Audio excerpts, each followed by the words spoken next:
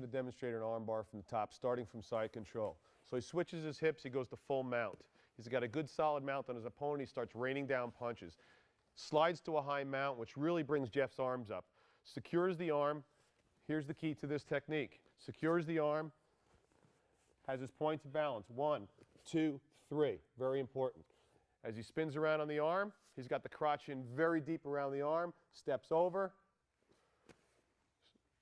arm bar, knees together, thumb to the ceiling. Let's see it again.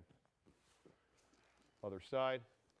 Very secure, step over mount, exposes the arms from the strike, slides to a high mount, grabs the arm, has it marked very well, balance, steps around, slides back easily, thumb to ceiling, knees together.